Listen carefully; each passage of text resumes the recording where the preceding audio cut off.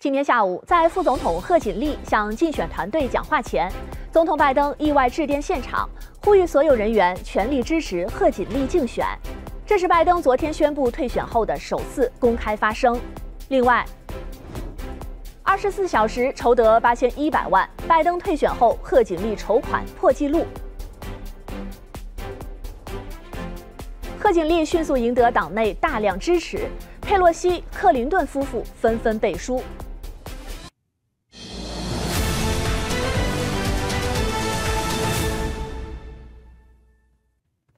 首先来关注昨天突然宣布退选的总统拜登的最新情况。今天下午，副总统贺锦丽抵达位于特拉华州的竞选总部，而拜登则意外的在贺锦丽向竞选团队讲话前致电了活动现场，呼吁所有工作人员全力支持贺锦丽竞选。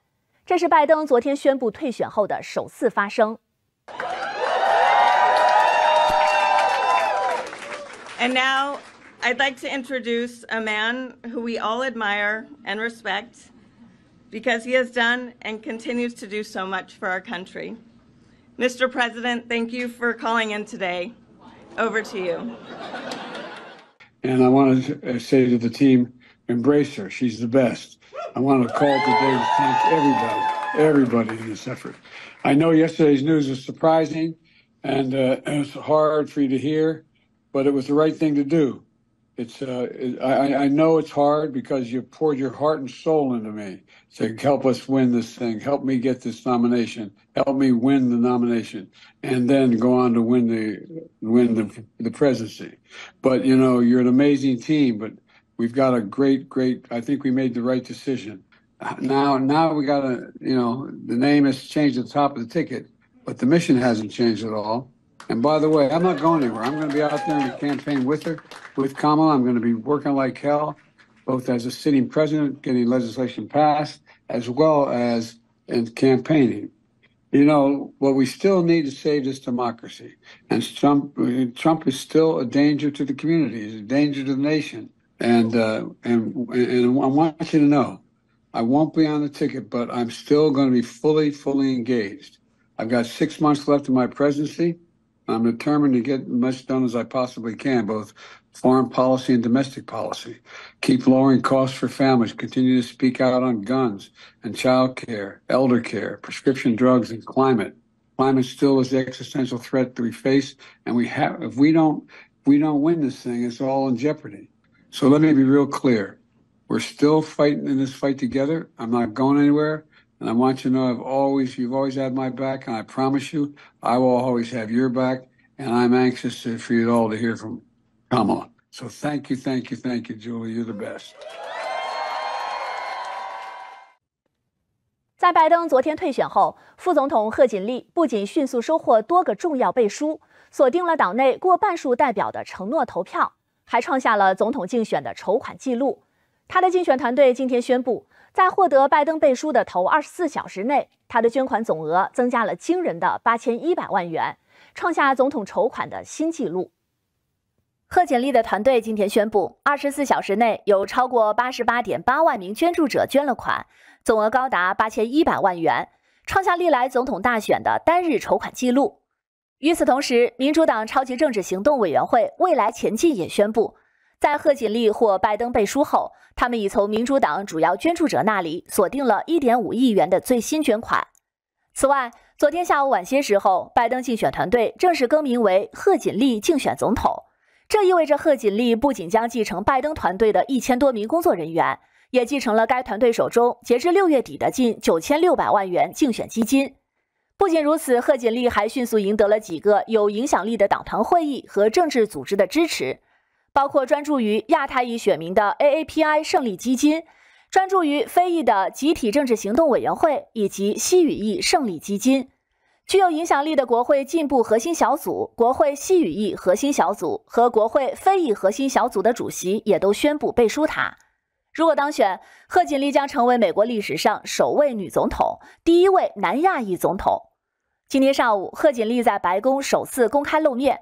随后又前往拜登竞选总部所在地威尔明顿，与他的新竞选团队会面。而拜登计划在本周晚些时候向全国发表讲话，详细解释他的退选决定。今天，副总统贺锦丽在拜登退选后首次公开亮相。已受到拜登背书的他，目前在民主党总统候选人的角逐中大幅领跑。今天，在白宫的一个庆典上，贺锦丽对拜登任期内的成就给予了高度赞扬。副总统贺锦丽于周一下午在拜登总统宣布退出2024总统大选后首次公开露面。目前，贺锦丽已获得拜登背书，他在民主党总统候选人的角逐中大幅领跑。在庆祝全美大学生获奖运动员的活动上。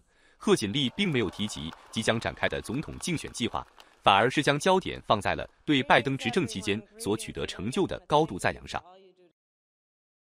Joe Biden's legacy of accomplishment over the past three years is unmatched in modern history. In one term, he has already, yes, you may clap.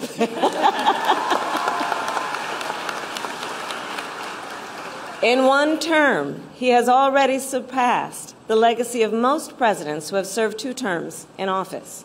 His honesty, his integrity, his commitment to his faith and his family, his big heart, and his love, deep love of our country.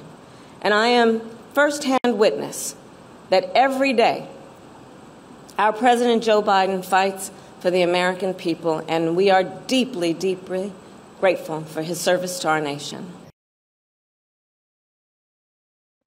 继续关注民主党内部的最新动态。今天下午，国会前众议长佩洛西宣布，他背书副总统贺锦丽为接下来的党内总统竞选人。 此外，参议院多数党领袖舒默和众议院民主党领袖杰弗里斯虽称赞贺锦丽，但尚未明确背书他。有消息称，他们可能很快会公布对贺锦丽的支持。不仅如此，克林顿夫妇和多位重磅级的民主党州长今天也纷纷背书贺锦丽。佩洛西今天在声明中说：“我怀着极大的自豪和对我们国家未来的无限乐观，支持副总统贺锦丽竞选美国总统。”佩洛西还称，他看到贺锦丽作为工薪家庭捍卫者的力量和勇气，尤其是为女性的选择权而战。他完全相信贺锦丽将带领民主党在十一月选举中获胜。媒体称，自六月二十七号拜登灾难性辩论以来，佩洛西就一直在幕后运作，希望拜登退选。另一方面，参议院多数党领袖舒默和众议院民主党领袖杰弗里斯今天称赞贺锦丽在争取民主党总统候选人提名的过程中开了个好头，但截至今天下午，尚未明确表示支持他。舒默和杰弗里斯在联合声明中说：“我们期待不久与贺锦丽亲自会面，共同努力团结民主党和国家。”还赞扬贺锦丽承诺以符合民主党全国委员会制定的基层和透明程序的方式寻求提名。民主党全国委员会上周宣布，将在八月一号至七号期间进行虚拟会议程序，以在八月十九号正式举行的民主党全国大会开始前确认党内的总统候选人提名。截至今天下午，贺锦丽已获得五百多名党内代表的支持。除佩洛西之外，今天克林顿夫妇，也就是前总统比尔·克林顿和前国务卿希拉里，也背书贺锦丽。作为民主党政治圈中最有权势的家族之一。他俩的迅速表态是一个关键的迹象，表明民主党人倾向团结一致，把贺锦丽作为击败川普的最佳选择。另一方面，密歇根州长惠特莫、肯塔基州长贝希尔、伊利诺伊州长普利兹克以及马里兰州长、明尼苏达州长、威斯康星州长今天也表示支持贺锦丽。在拜登退选前，惠特莫和普利兹克也曾是民主党总统候选人的可能人选。昨天，我们为您报道了总统拜登退选并背书贺锦丽后，前总统奥巴马并未表态支持贺锦丽的新闻。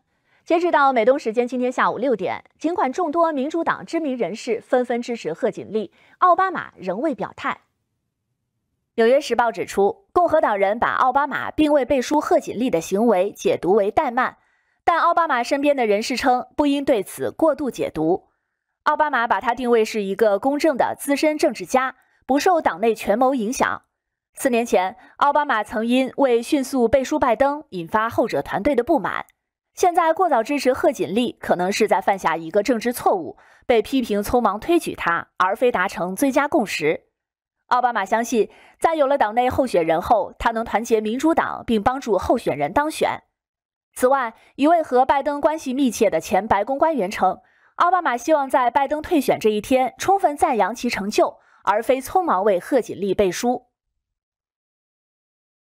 再来看共和党方面对拜登退选的最新反应。今天，共和党副总统候选人万斯在俄亥俄州米德尔顿的高中母校举行了他的首次个人竞选集会。他批评民主党更换候选人的做法是背后操纵，而非选民意愿，并对贺锦丽进行了猛烈抨击。川普的竞选搭档、共和党副总统提名人万斯于周一下午来到自己的家乡俄亥俄州的米德尔顿，举办了首场个人竞选活动。此次集会的地点位于万斯的母校米德尔顿高中。I will never forget where I came from. Ladies and gentlemen, I came from Middletown, Ohio. I am proud of it, and I will never forget where I came from. 在演讲中，万斯再次分享自己在铁锈地带的成长历程，并重申了共和党总统提名人川普的核心政策方向：加强边境安全、增大石油开采以及降低生活成本等方面。而随着拜登退出总统竞选并背书副总统贺锦丽后，原本预期与贺锦丽进行辩论的万斯在演讲中调整了政策。他效仿川普的策略，将矛头同时指向拜登与贺锦丽两人。万斯指责民主党替换候选人之举源于背后资助者们和党内领袖的干预，并非是因普通选民的声音，这被视为对民主的威胁。The idea of selecting the Democrat Party's nominee because George Soros and Barack Obama and a couple of elite Democrats got in a smoke filled room and decided to throw Joe Biden overboard. That is not how it works. That is a threat to democracy, not the Republican Party, which is fighting for democracy every single day. 万斯还同时谴责贺锦丽，认为他对这个国家缺乏感激之情。When I see her give a speech, and she talks about the history of this country not with appreciation but with condemnation. And look, of course, every country, just like every family, certainly mine, has its pockmarks, right? Not everything's perfect, it's never gonna be. But you, if you wanna lead this country, you should feel grateful for it. You should feel a sense of gratitude. And I never hear that gratitude come through when I listen to Kamala Harris. 就在前一天，万斯在社媒上发文称，拜登政府的种种失策，贺锦丽亦难辞其咎，特别是他与拜登共同隐瞒其健康状况的问题。 当天晚些时候，万斯还将前往维吉尼亚州参加筹款活动，这是他在上周共和党全国代表大会上与川普一同亮相后，正式启动了个人的竞选之旅。在国会遭围攻，特勤局局长拒绝辞职。接下来，请继续关注。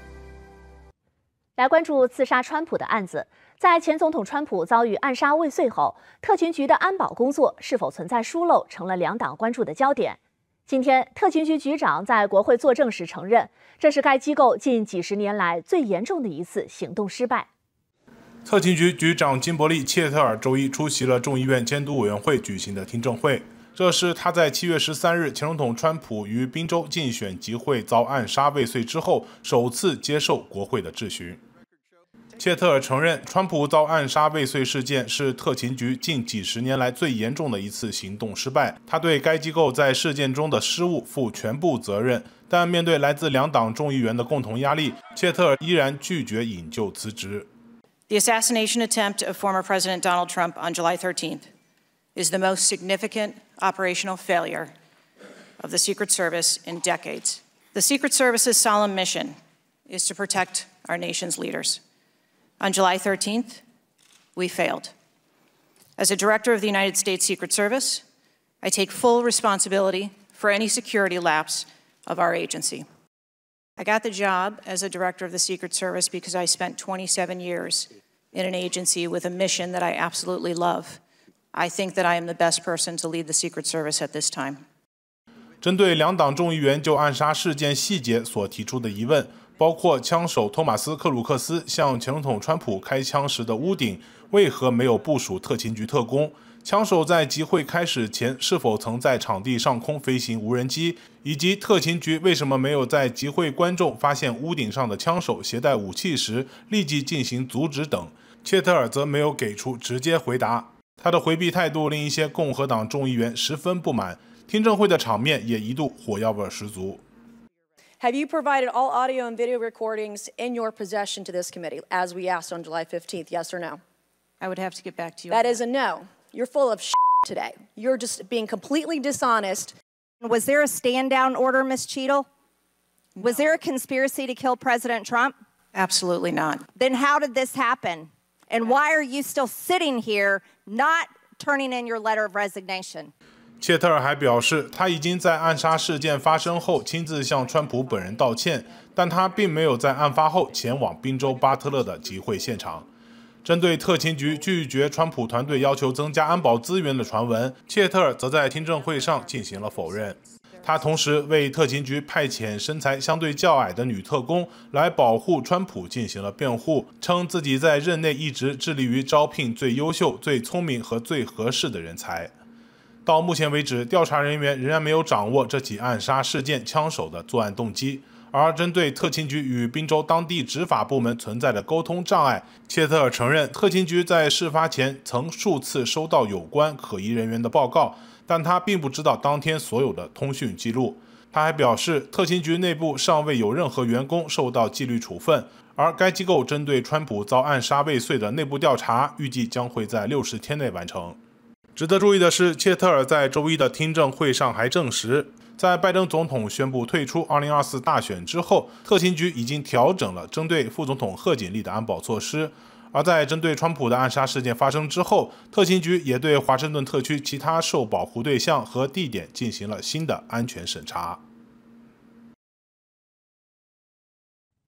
视线转向民生。上周五，全球范围内发生的微软宕机事件，导致全美上万次航班受到影响。截止到今天，仍有上千架航班受宕机事件影响。数据显示，截至到今天傍晚六点，全美今天共有近一千三百架国际、国内航班被取消，近八千五百架航班被延误。其中，达美航空受到的影响最大。该公司自宕机以来，已累计取消了四千五百多次航班。其中包括今天取消的超过八百次航班。据悉，虽然此次宕机事件影响了各大航空公司的电脑系统，但达美航空似乎是唯一一家关键的机组调度软件受到影响的航空公司。该公司 CEO 表示，公司正在努力为乘客恢复航班，希望纠正错误，并向旅客提供优惠券以及退款等补偿方式。麦当劳在上月推出了一个五块钱的套餐后，备受消费者喜欢。该公司今天宣布，将在全美大部分门店延长这一超值套餐的优惠期。麦当劳高管今天表示，这项五块钱超值套餐包括一份麦香鸡或双层汉堡、四分装鸡块、薯条和一杯饮料。最初在六月二十五号开始，原定于本月底结束，但全美约百分之九十三的门店都投票决定延长这项促销活动的时间。其中大部分门店将延长到下月。该公司高管表示，推出这项优惠活动主要是为了吸引消费者进店消费。现在看来，这项计划实现了这个目的。除了麦当劳外，像汉堡王、Wendy's、Taco Bell，甚至星巴克这些餐饮连锁店都推出了三到五块钱不等的优惠套餐，主要为了在竞争激烈的环境中吸引消费者进店消费。来关注开幕在即的巴黎奥运会。美国代表团今天宣布，NBA 巨星勒布朗·詹姆斯将担任代表团的男旗手，这是历史上第一次由男篮运动员担任美国奥运旗手。此前的两位篮球奥运旗手都是美国女运动员。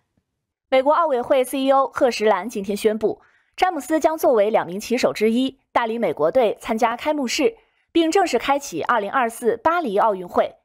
面对这一巨大荣誉，詹姆斯本人表示。在奥运会这个全球舞台上代表美国是一种难以置信的荣誉，这份责任对我来说意味着一切。体育有力量把所有人团结在一起，我很自豪能参与这个重要时刻。据悉，是队友斯蒂芬·库里提名詹姆斯担任旗手的。另据报道，美国奥运代表团的女旗手将于明天公布。视线转向华人。上周四下午发生在洛杉矶的华女持武士刀致命纠纷案，引发了社区强烈关注。住宅中，一名华人女子不幸被杀，另两名华人女子则入院治疗。来看本台驻洛杉矶记者在案发现场进行的采访报道。周四下午发生在洛杉矶圣地马斯的一起疑似因家庭纠纷引发的武士刀袭击案，引起了社区关注。住宅中的一名女子被杀，另外两名女子入院治疗，她们均为华人。凶案就发生在我身后的这栋房屋中，目前屋内无人居住，可以看到地上还有残留的血迹，从院子里一直蔓延到人行道上。绕到后院，通过外墙可以看到屋里还有大量的血迹以及急救人员残留的物品。就在记者走访时，一辆亚马逊货车将包裹留到了门口，上面是一个华人的名字。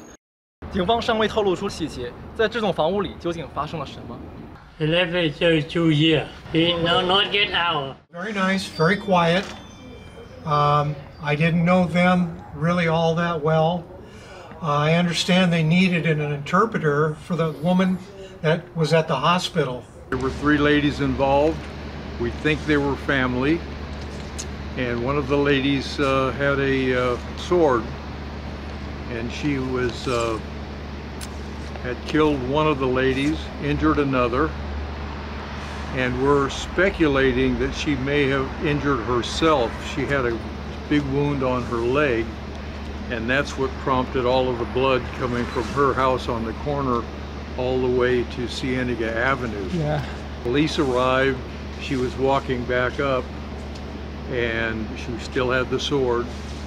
The uh, police told her to drop the sword, which she did. And uh, that's about all I know.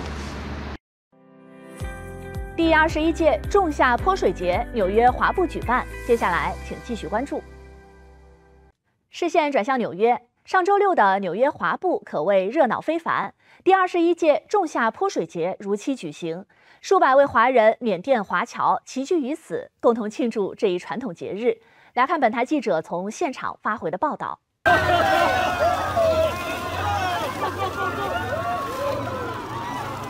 周六，第二十一届仲夏泼水节在纽约华埠举行。本次活动由纽约缅甸华侨联谊会主办，中国驻纽约总领事馆副总领事吴晓明、领侨处主任潘燕、纽约缅甸华侨联谊会主席苏焕光、会长吴锡富以及纽约州参议员刘纯义、众议员李荣恩等领馆代表、民选官员和社区代表出席本次活动。活动上，副总领事吴晓明、纽约缅甸华侨联谊会代表等多位嘉宾发表讲话，共同庆祝本次仲夏泼水节活动成功举办。纽约缅甸华侨联谊会会长吴锡富表示，泼水节是缅甸的新年活动，庆祝这一节日也象征着对新一年的美好祝愿。在我们缅甸是新年，那因为因为这边的新年是缅甸新年四月中，所以因为那时候比较冷，那我们哪来是夏天过来玩，大家都。意义是每年的我们新年，大家都要新的一年快快乐乐。今年会因为是在这个不是在公园，所以我们的范围更大，来的人特别多。活动吸引了数百位缅甸华侨和华人的积极参与，齐聚华埠，共同庆祝这一节日。活动设置了丰富精彩的环节，让参与者能够充分享受节日乐趣。现场摆放了供民众泼水的工具，并设立了多个缅甸特色美食文化摊位供人们品尝。此外，还有精彩的文艺表演，为来宾带来精神文化享受。现场气氛热闹非凡。我们是缅甸华侨，全部华侨的华人都在去做缅甸的加勒泼水。都聚在一起，大家都很开心了，迎新去旧。来关注堪称经典的太阳马戏团。上周末正在全美巡演的太阳马戏团来到了波士顿，用杂技、武术、空中技巧等高水准的演出，为观众奉上了视听盛宴。本台驻波士顿记者也走进马戏团的后台进行探班，一起跟随他的镜头来看台前幕后的故事吧。提起太阳马戏团，我想很多人都不会陌生，它是全球最大的现代马戏制作公司。那么今年夏天啊，他们也带着经典大剧《OVO》来到波士顿。那么我也有幸呢，能够走入他们的后台，了解这精彩背后的故事。OVO 秀讲述的是，在一个丰富多样的昆虫家园中，昆虫们在那里工作、吃、爬行、玩耍、战斗和寻找爱，来体现生命的活力和巡回。整个团队由来自全球二十多个国家的演职人员组成，其中我们也看到了一位华裔演员，他叫吴威亮，是蹦床演员。我们看到他现在正在脚踏车上热身，准备彩排。之前去过一次澳门，要之前在澳门看过一台呃太阳的节目啊，然后我就给他们深深的吸引入，对啊，就想想当这样的演员，想想表现一下。我演绎的是蟋蟀，就是在节目里面是。蟋蟀，然后表演蹦床墙。啊，我们演员应该有五十二个人吧，有二十多个不同国家的吧。训练的话，我们一般每天都是练大概一个半小时左右。最大的挑战是英文吧。刚来的，刚出来美国的时候，英文不太不太会，但是后面慢慢学习学习就就挺厉害吧。我觉得作为中国人在在外面呃打拼吧，我觉得要展示我们中国人的精神吧，就是就是很强，对我我们就很强很刻苦啊，就这样。吴威亮来自中国广东，曾是广东省队的一名专业蹦床运动员。退役后，他选择加入太阳马戏团，秉承着在蹦床方面的天赋和一份热爱，继续他的蹦床职业生涯。运动员生涯跟演艺生涯是不一样的。演艺生涯的话，会比较有趣吧，会比较享受观众的欢喜啊，然后自己会有点成就感吧。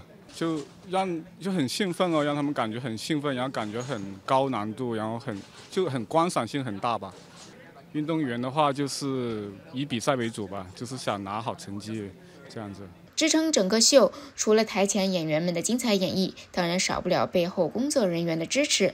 整个团队从服装、化妆、道具、音乐，还有专门的洗衣机和烘干机，也跟随着团队跑遍全球。so that they can live a little bit longer.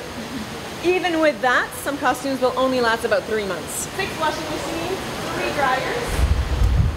It's always, uh, so they're all over there. We're 100 people traveling with the show full time, and we're from 25 different nationalities. We have close to 20 languages on tour, so a, a very multicultural um, setting not only on stage, not only in our tour plan, but also backstage. Ovo, the show that we're on, so it's one of the shows of Cirque du Soleil. It's it means egg in Portuguese. So it was created in 2009 and it's been touring the world for the last 15 years. We have three new acts at this uh, representation that we're showing since last time we were here, probably six, seven years ago, was it? A long time ago. Um, new artists, new music. So it's definitely something for everybody in the family. OVO 秀在波士顿的演出从七月十九日开始，将会持续到七月二十八日。接下来他们会前往罗德岛州、纽约州、 华盛顿 DC 等全美多地，为更多的观众带来以杂技、戏剧等相结合的视觉新体验。新闻节目的最后，再次欢迎大家在 YouTube 上给中文正点点赞、订阅、留言，并且开启小铃铛，以便及时获得最新的新闻推送。